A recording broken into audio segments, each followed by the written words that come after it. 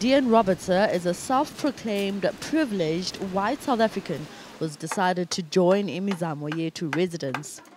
Thousands of fire victims have been living in these 3 by 3 meter temporary shacks for the past three months after losing their homes to a deadly fire.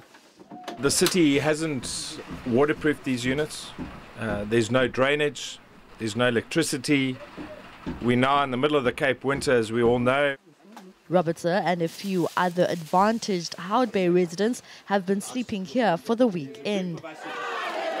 Their action follows days of unrest in the community. Imizamo residents have demanded the city's administration fast track the rebuilding of their homes. One person died during the protest action, and the Independent Police Investigative Directorate is investigating.